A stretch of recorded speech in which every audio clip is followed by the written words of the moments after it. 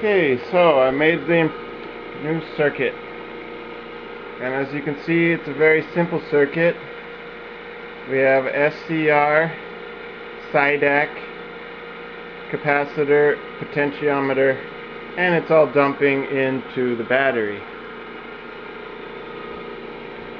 So I'm going to turn on the circuit and then you can see the current coming into the battery. Okay?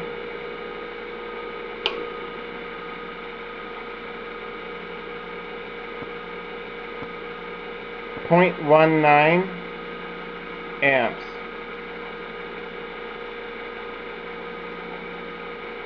Okay.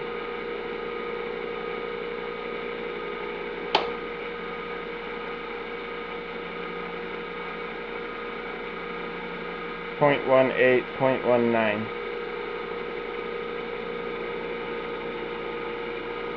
Okay, now I'm going to change this over to the input.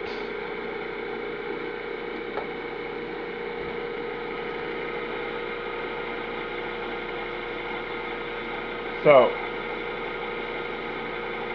the input current 0.44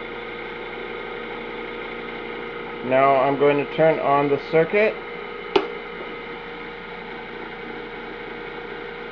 Point five four.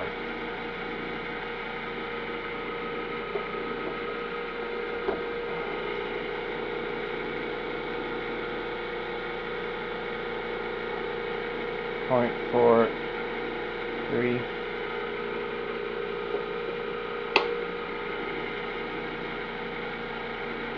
0.54. Okay, so it's working very good, and this is going to be the motor for my flywheel energy storage.